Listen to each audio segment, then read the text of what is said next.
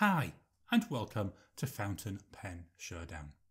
Today, we're going to be comparing two pens from the manufacturer Hongdian. These pens, they were ordered off AliExpress and they were both about Australian dollars 23, so similar price. They took about four weeks to arrive, and since then, I've been using them every day so I can get good experience with them and then talk through them with you. The first pen this lovely green. This is the Hongdian 525. Our second pen, this beautiful blue pen. This is the Hongdian Black Forest series, The Light of Hope. Join me down on the mat and we'll talk through these two pens and compare them and see which one comes out the winner.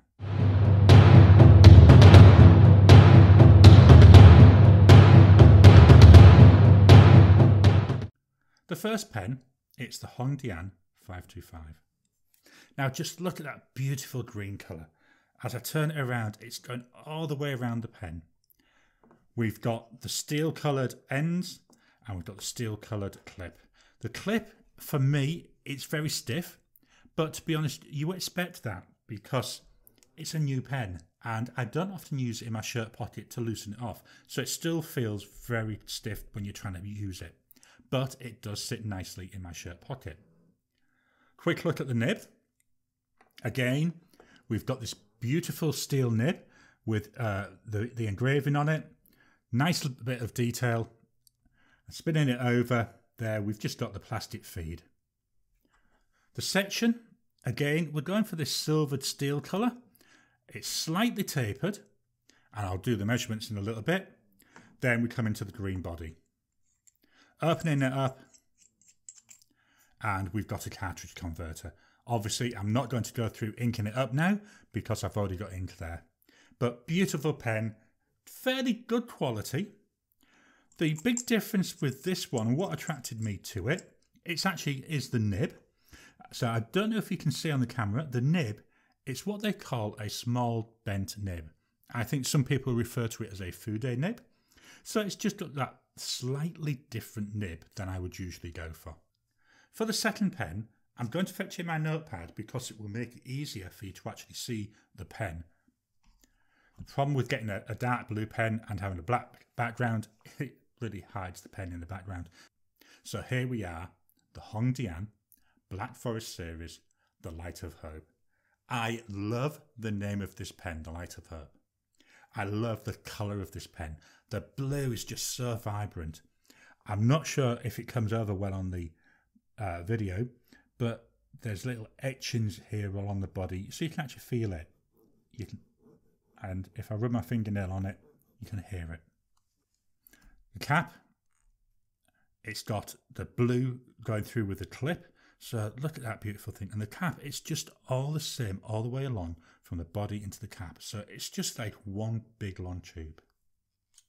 If I take off that cap, it reveals this gorgeous nib. Look at the blue on that nib. The blue's all the way through this pen, from the body, from the cap, for the trim, and right the way through to this fine nib. We have a section, again, it, it's got this little bit of a tapering. This lip here, I personally don't like this. When I write with it, I write with my fingers really low down and I can feel this digging into my finger. But that's a really minor thing. So the rest of the body, if we unscrew, again, we can see we've got a cartridge converter. Got some nice blue ink there. I'll discuss the ink in a little bit. Let's put that body back on. And with this pen, we've got this section here which allows the pen to post and then maintain that same straight line all the way through. To me, it's just a gorgeous looking pen. So we've had a quick look at it. Let's take some measurements. I'll fetch in my trusty rule. Let's get rid of that paper. So we'll start off with the 525. So the length of the 525 It's approximately 13.7 centimetres, so Not a, a big pen, but certainly not a small pocket pen. Uncapped, we come in at 12.1 centimetres. Posted, and so yes, it does post. So it's fairly secure when it's posted. And we come in at about 15.3 centimetres. So again, not too long. Width wise, so we've got a little bit of tapering in the body. At its widest part, the body is one cent centimetre wide. And then that section, as I said, it tapers. It goes from 0.7 centimetres all the way up to 1 centimetre. With the cap, again, 1 centimetre. So let's fetch in that light of hope. So the light of hope. So capped, 13.7 centimetres. Uncapped, a little bit smaller at 11.9 centimetres. Posted gives us about 16.8 centimetres. And then the width, the body at its widest here, it's one centimetre. Same with the cap. The section, it's not as wide as the 525, so it starts off at about 0.75 and goes all the way up to about 0.9, so a little bit narrower. So we've now seen our measurements. Let's go and get some weight. I'm fetching in my trusty scales. Wait while it sets to zero. So the 525, well that comes in at approximately 30 grams. The cap, that's approximately 11 grams. For the Light of Hope about 30 grams. That cap weighs about 11. So let's go and have a look at our writing samples.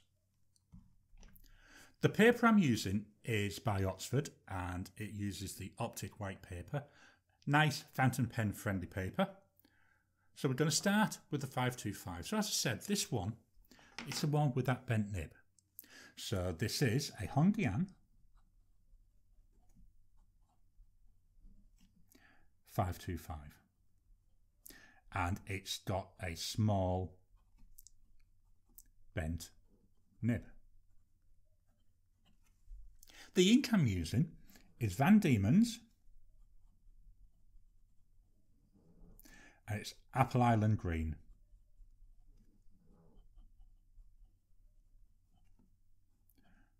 Helps if I can spell island today. So I like this ink. It's not too dark it's not too bright. Let's have a look at the dry times on this. Uh, if I go straight away, we've got a really wet ink. After about five seconds, again, it's still fairly wet.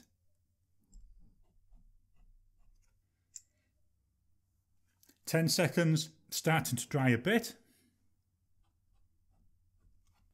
15 seconds, Still got that wetness there. Now, lastly, we'll go for 20 seconds. And still, we've got that wetness coming through. So this was immediate. This was 5 seconds, 10 seconds, 15 seconds, and 20 seconds. So a really wet pen with some really wet ink. So here we are now. We've got the Hongdian Black Forest series. And it's The Light of Hope. In here we have a fine nib. Today's ink is from Noodler and it's Navajo turquoise.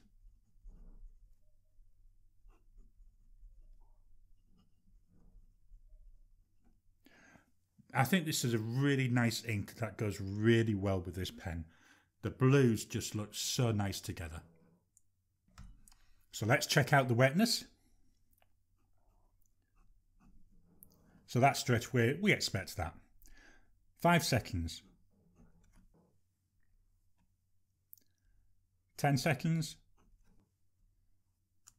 15 seconds, now 20 seconds. So again, it's quite a wet pen. If we quickly flip over the paper though, you aren't getting anything coming through. What I'm going to do now is I'm going to do two writing samples with these. The difference that with this is I'm going to actually move the microphone so it's closer to the paper so hopefully you'll be able to hear the pens writing that bit better. So we'll start off with the 525.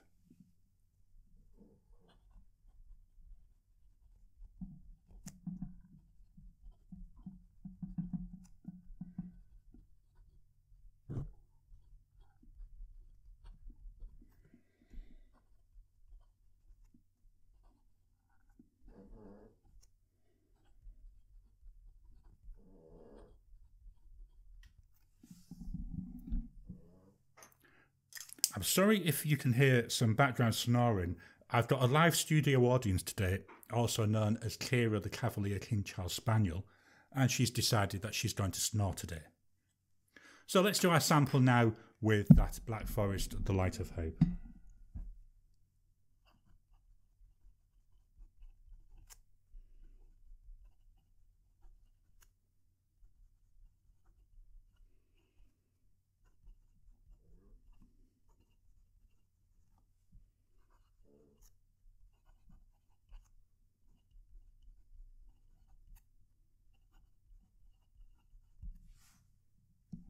The pen's both right nice. They're both right smooth. There's a little bit of noise. You, you can definitely feel the pen as you're writing, so they're not as smooth as some of the other pens that I've got, but it's still the nice writers. So let's start giving these pens some marks. So with the 525, well, this pen, it's a nice, it's straightforward, but to be honest, it's not interesting. The shape is, well, it's like a standard shape.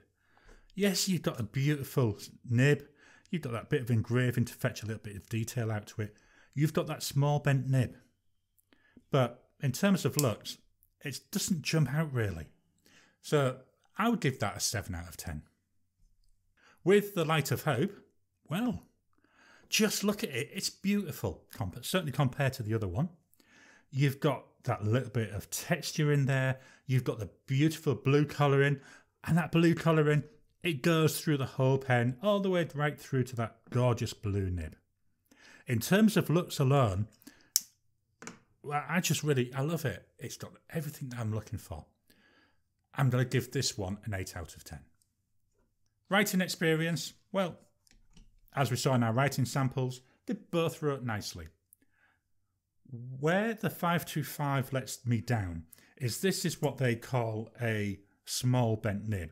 And the whole idea of it is you're meant to be able to get different line thicknesses depending on how you hold the pen. So if I hold it more flatter, I should get one line. If I hold it here, I should get a different line width. And if I hold it upright, it should give me yet another line width. I personally, I just don't see it. not saying that it's not there, but I'm struggling to fetch that out. And that could just be the way that I'm using the pen. So I'm afraid for the 525, I can only give it a 6 out of 10.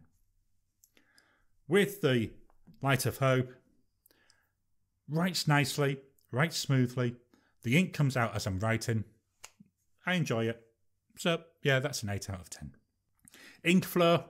So, again, looking here, the ink flow is not too bad. Where I'm going to hit the 525 again, it's because of that idea of being able to get different line thicknesses. I'm just not seeing it. So again, I have to only give that a 6 out of 10. Light of Hope, again, it writes nice. I'm not seeing a lot of shading there. So unfortunately, I can only give that a 7 out of 10. Value for money, well, they were both about 23 Australian dollars, so roughly the same price. 525, I'm going to give that maybe a 7 out of 10. Again, it's the nib which is making me a bit uncomfortable. Whereas the Light of Hope, well, you may have already noticed I really like this pen, so I'm going to give that an 8 out of 10. Well, that means we get a total score for each of these pens of 6.5 out of 10 for the 525 and 7.75 for the Light of Hope. So, in terms of today's showdown, that blue pen, that Light of Hope, that comes out as the clear winner. So, what do I think about these two pens? Well, the 525. I love the colour. Remember, I love green. I wish it was a screw cap rather than a pull on and off.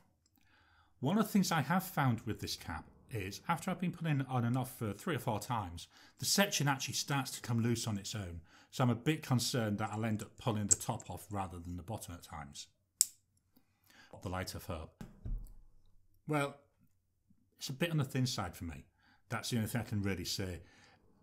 I like thicker pens. I find this is alright, like with my writing sample for one or two sentences. But if I write more than that, what I'm finding is it's uncomfortable to write with. And that's a shame because it's a beautiful looking pen. The other thing I like about this pen, well, it's its name. It's the light of hope. Given the way that the world is currently going, we could all use that bit of hope. And I love the fact that this pen reminds you of that. It's telling you that we need to have some hope. So, of the two, my definite favourite is this one. It is this Light of Hope. I think it's just a slightly better writer. But the 525, I wouldn't throw it away. I wouldn't say no to it. It's going to keep going into my everyday carry rotation. It's a nice pen once you get over the few little things to do with the, the cap and the section unscrewing, I, I don't see there's anything wrong with it. For 23 Australian dollars, you can't go wrong. So that was my comparison of the 525 and the Light of Hope. I hope you've enjoyed today's video. If you have, please give me a thumbs up, comment down below. Have you got one of these pens? Have you got a different Hongdian pen? How do you rate them? Do you find that you're getting the same issues that I am? Do you like the same things that I do? Let me know below. If you haven't already, please subscribe to the channel so that you can get new videos as I release them. Join me again in a couple of weeks when I'm going to be comparing two Moonman M800 pens. One of them will have a bottle nib and the other one will have the standard Moonman nib. Let's go through them together and see which one comes out on top. Talk to you again soon.